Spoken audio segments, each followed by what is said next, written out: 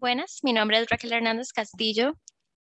Hoy vengo a hablarles un poco sobre la introducción a la contabilidad para las asociaciones. Este es el tercer video y hoy vamos a hablar sobre los estados financieros y lo que estos conllevan. El objetivo de los estados financieros es suministrar información acerca de la situación financiera, los resultados de las operaciones y los movimientos patrimoniales, el patrimonio neto y los cambios en la situación financiera de una asociación. Podemos ver que los estados dan información sobre los activos, los pasivos, el patrimonio, los gastos o ingresos y las ganancias o pérdidas, también sobre los cambios en el patrimonio y sobre los flujos de efectivo. La situación financiera, comúnmente denominada también balance general, es un documento contable que refleja la situación financiera de un ente económico como una asociación a una fecha determinada. Eso quiere decir que con una situación financiera podemos ver si la asociación se encuentra como deudora, no deudora, si le hace falta ajustar alguna cuenta, entre otros. Ahora, vamos a definir, algunos de los conceptos que mencionamos anteriormente en los estados financieros, que dijimos que estos dan información sobre activos, pasivos, patrimonios, todos los puntos que vemos en este momento. Entonces, activos. Los activos son recursos propiedad de la asociación que están destinados a generar beneficios en el futuro. Estos activos se registran al costo histórico. Algunos ejemplos de activos son el efectivo, las cuentas por pagar, los edificios, los vehículos, el equipo, las inversiones que tiene la asociación. Entonces, los activos, los bienes y derechos con los que una asociación debe, debe tener están agrupados de acuerdo a la finalidad inmediata para los que fueron adquiridos o bien atendiendo a su mayor o menor grado de disponibilidad. Algunos ejemplos de activos son como los que acabamos de mencionar, entonces ya tenemos más o menos una idea de qué es un activo.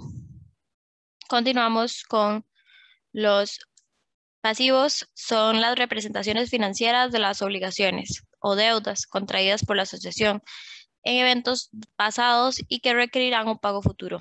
Estos pasivos se enumeran en orden de exigibilidad. Y los ejemplos son como, por ejemplo, las cuentas por pagar, las hipotecas, por pagar, entre otros.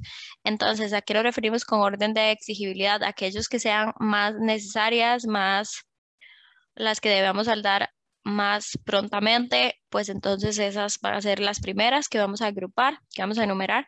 Y como vemos acá, los pasivos son aquellas por ejemplo, una hipoteca por pagar, si el lugar que la asociación utiliza para llevar a cabo sus reuniones es un lugar que se alquila, sabemos que, por ejemplo, si estamos en marzo del 2021, eh, un pasivo será aquella deducción que vamos a tener que pagar el día 15 de marzo cuando paguemos la mensualidad del lugar que estamos utilizando para ah, dar las reuniones, el cual es alquilado.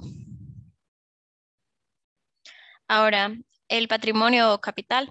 El capital de la asociación es el interés residual en el activo de una empresa que queda después de deducir el pasivo. Entonces, decimos acá, como dice el primer punto, el capital es aquel que, perdón, el patrimonio es aquel que es el capital de la asociación y este es el interés residual que al restar el pasivo nos quedará y lo llamaremos patrimonio. Este patrimonio representa el derecho residual de los propietarios sobre los activos y algunos ejemplos son el capital social, la reserva legal, las utilidades retenidas o acumuladas. Por ejemplo, de patrimonio son, como mencionamos en otros videos anteriores, las sillas con las que empezó la asociación, las mesas, las semillas, entre otros podemos también definir que en el ámbito económico el patrimonio es el conjunto de bienes, derechos y obligaciones con los que una persona, grupos de personas o asociaciones cuenta y las cuales emplea para lograr un objetivo en común. En ese sentido, se pueden entender como sus recursos y el uso que le da a estos. Como ejemplo de patrimonio ya tenemos los que hemos mencionado acá. También entrarían acá las donaciones que hubieron inicialmente para iniciar con la asociación. Ahora vamos a hablar un poco sobre dos conceptos muy importantes, ingresos y gastos. Ingresos son aumentos de activos provenientes de actividades orientadas a las utilidades y originan flujos positivos de efectivo. Entonces, si nosotros ya estamos con nuestra asociación y el día de hoy vamos a comprar vamos a ir a comprar nuevas semillas, compramos semillas de girasol, semillas de chayote, compramos también una mesa que nos estaba haciendo falta para las reuniones. Entonces estos van a ser activos. Nuestros nuevos activos serán las semillas, la mesa y también todo aquello que estemos comprando que nos va a generar una utilidad en el futuro. ¿Por qué una utilidad? Porque las semillas las vamos a sembrar y eso nos va a generar ventas y las ventas nos van a generar efectivo, ¿correcto? Entonces este efectivo también será un pasivo en el futuro. Igual las mesas nos están generando una utilidad porque están siendo eh, de buen uso, ya que está permitiendo que lleguen más miembros a la asociación, que nos ayuden a regar las plantas. Entonces, estas mesas están siendo un activo. Y en el futuro, estas mesas, ya que van a colaborar dentro de un marco de otras cosas, a que haya más ventas, a que la asociación se acomode mejor, se reúna mejor, va a generar, es probable que flujos de efectivo positivos y esto, ese efectivo será un activo en el futuro. Ahora, los gastos. Los gastos son disminuciones de activos provenientes de actividades orientadas a las utilidades y originan flujos negativos de efectivo. Como mencionamos antes, las disminuciones o los gastos también podemos como una deuda. ¿Qué es una deuda? Un pasivo. Entonces, sabemos, por ejemplo, que si el día de hoy estamos comprando las semillas que mencionamos, pero nos estamos endeudando para poder comprarlas porque tuvimos que pedirle prestado dinero, ya sea a un fiador o a alguien, a un primo o a alguien que nos está prestando el dinero para comprar esas semillas, entonces esa, deuda que estamos teniendo es pues un pasivo. Y en el futuro cuando gracias a las semillas tengamos más ventas, pero tengamos que sacar de esas ventas de ese dinero de las ventas para pagar esa deuda, pues entonces eso será un gasto, eso será una disminución y eso será un flujo negativo de efectivo. También tenemos acá que la diferencia entre ingresos y gastos que se obtiene en el estado de resultados se llama utilidad o pérdida. ¿Qué nos quiere decir esto? Básicamente, cuando ponemos por un lado los ingresos y por otro lado los gastos y los restamos y esta esto que nos da es algo positivo, entonces tenemos una utilidad. Pero si cuando esto que nos da es algo negativo, ¿qué quiere decir eso? Que los gastos son mayores, entonces vamos a tener una pérdida y nuestra asociación va a ser una asociación deudora. Ahora vamos a hablar sobre la ecuación contable. Bueno, ¿qué es una ecuación? Una ecuación es una igualdad entre expresiones algebraicas que se cumple solamente para ciertos valores de las letras o las incógnitas. Entonces, aquí tenemos un ejemplo. 2 más x es igual a 4. Entonces, acorde con lo que nos dice la definición de ecuación. ¿Cuál letra o cuál incógnita va a hacer que esto se cumpla? Podemos ver claramente que otro 2, que un 2 va a hacer que esto se cumpla. Entonces 2 más 2 va a ser igual a 4. Una ecuación es básicamente esto, algo que nos hace que se dé una igualdad. Entonces acá tenemos la ecuación contable. La ecuación contable es la base del estado de la situación financiera. Y empezamos definiendo la ecuación contable con la definición de recursos es igual a fuentes. ¿Qué queremos decir con recursos? Bueno, con recursos queremos decir con todos aquellos posesiones que se tienen inicialmente para lograr un, bien, un fin. Entonces, recursos igual a fuentes. Después podemos ver en el segundo en la segunda descomposición de la ecuación que nos dicen que los recursos es igual a fuentes internas más fuentes externas. ¿Qué quiere decir esto? Entonces, lo que quiere decir esto es que las fuentes pueden ser internas o externas. ¿A qué nos referimos? Por ejemplo, una fuente externa de una asociación puede ser, mm, supongamos, un salario el salario de las semillas. Las ventas de las semillas nos está provocando pues un ingreso. Eso es una fuente externa. Pero, ¿qué será una fuente interna? Una fuente interna es que aparte de eso, también estamos eh, alquilando un terreno que tenemos en Isla Venado, el cual se llena de turistas todos los meses. Y ese terreno es de la asociación, siempre ha sido de la asociación porque nos lo han heredado. Entonces, este ingreso que recibimos de parte del alquiler del terreno va a ser una fuente interna y lo que será una fuente externa serán las ganancias que recibimos de las semillas, la cual puede variar, por supuesto. Puede ser que un mes sea mayor y otro mes sea menor. Entonces, ahí decimos que los recursos son iguales a las fuentes externas, fuentes internas. ¿Por qué? Porque tanto la ganancia que estamos obteniendo de las semillas como la ganancia que estamos obteniendo del terreno que posee la asociación que se alquila, entonces eso va a ser nuestros recursos, los recursos con los que cuenta la asociación. Y ahora, más importante, definimos que los recursos también los podemos llamar activos y a las fuentes externas, como lo que mencionamos anteriormente, las podemos llamar pasivos y a las fuentes internas las podemos llamar patrimonio. Entonces, muy importante, las fuentes externas son iguales a los pasivos, las fuentes internas son iguales al patrimonio y estas dos sumadas hacen los activos. Esa es la ecuación que siempre se tiene que cumplir. Ahora vamos a definir lo que es una cuenta. Podemos decir que una cuenta es un artificio contable utilizado para representar los valores que posee o debe una empresa. Son nombres especiales que los contadores dan a esos valores con el objeto de unificar los procedimientos contables y facilitar el registro.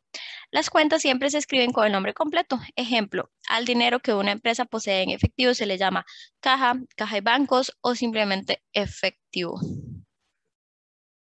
Aquí podemos ver lo que es una cuenta, podemos ver sus partes básicas, un título, en este caso se llama caja, un número de cuenta, en este caso es cuenta número uno, una columna para la fecha, una columna para los cargos o debe. Bueno, acá cabe, cabe destacar que la palabra cargos es sinónimo de debe, por lo que tanto si la vemos como cargos va a ser lo mismo que debe, de cualquiera de las dos formas que ustedes se las encuentren, ya sea en un libro o en una presentación. Y lo mismo para el abono o haber. Entonces vamos a ocupar una columna para los cargos o debe, una columna para el abono o haber y también una columna para el saldo. Y más importante también una columna para la descripción, porque como mencionamos anteriormente, queremos saber siempre qué estamos haciendo, de qué se trata y podemos volver al pasado y darnos cuenta de lo que estábamos haciendo en cierto momento con solo abrir el libro y ver la descripción de una cuenta. Ahora, vamos a hablar sobre los componentes básicos de los sistemas de contabilidad. Y los sistemas de la contabilidad podemos decir que son dos. Hay dos tipos de sistemas. Está el sistema por partida simple y el sistema por partida doble. El sistema por partida simple es aquel que es más fácil, el que se ha utilizado inicialmente y el que probablemente utilizamos casi siempre cuando queremos hacer algún tipo de anotación. Entonces, este tipo de contabilidad que se lleva prácticamente sin libros y se basa fundamentalmente en el registro de los ingresos y los gastos. A eso lo llamaremos partida simple. Sin embargo, la partida doble es aquella que busca la igualdad. Activo es igual a pasivo más capital y las cantidades se anotan dos veces, una como débito y otra como crédito. De aquí viene su nombre. Y para la elaboración de los registros se aplica lo que llamaremos regla de cargo y abono. Entonces, en esta partida doble es la que nos va a proporcionar mayor información, tiene muchas más ventajas, sin embargo, no es tan fácil. Por lo tanto, es entendible que se utilice la partida simple en muchas asociaciones. Sin embargo, también es muy importante guiarnos y ir conociendo más un, un poco más sobre la partida doble y aprender a usarla porque esa es la que vamos a necesitar mayoritariamente. En el uso de este sistema se debe cumplir con determinadas normas. Cada operación afecta al menos dos cuentas. Aquí estamos hablando de la partida doble. La partida doble va a afectar al menos dos cuentas. Y tenemos acá también que el total de los cargos debe ser igual al total de la suma de los abonos y el uso de la partida doble exige el registro permanente de las operaciones en los libros de contabilidad. Ahora vamos a ver un poco sobre las ventajas y las desventajas de la partida doble. Las ventajas es un sistema más exacto y preciso, permite detectar errores y se establecen resultados en cualquier momento. Y las desventajas exigen mucho tiempo para los registros. Entonces, en conclusión, la partida doble es muy importante, nos brinda más información, nos ayuda más en la asociación y es la que se utiliza más en la contabilidad actual. Sin embargo, tiene una desventaja y es que exige mayor tiempo, mayor dedicación a llevar esos registros. Sin embargo, vuelvo a recalcar la importancia de llevar ese tipo de partida doble. Acá podemos ver una cuenta T, podemos ver cómo se elabora una cuenta T. Entonces arriba ponemos el nombre de la cuenta, de la columna izquierda ponemos el debe, que también podemos llamarlo débito o cargo. Del lado derecho ponemos el haber, que también puede llamarse crédito o abono. Y del lado izquierdo ponemos también el saldo. Esa será nuestra cuenta y así es como la vamos a utilizar, como la vamos a dibujar en nuestros libros diario y libro mayor, los cuales veremos más adelante. sobre el saldo de la cuenta. Para obtener el saldo de la cuenta se suman las columnas del debe y el haber y se, resta el total de los cargos de la suma total de los abonos. La columna con el importe más alto determinará si el saldo es un debe, deudor o un haber acreedor. Saldo normal de la cuenta. El saldo normal se conoce como lo que se necesita, cargo o crédito, para incrementarla. Entonces, básicamente, si cuando restamos las dos columnas y esto nos da algo positivo, seremos un acreedor. Y si esto nos da algo negativo, seremos un deudor. Y el saldo normal será aquello que nos hace ya para igualarla, ya sea eh, porque tenemos una deuda o porque debemos incrementarla. Muchas gracias por escuchar este video. Mi nombre es Raquel Hernández Castillo y ese es el video número 3 de una serie de introducción a la contabilidad para asociaciones. Hasta luego.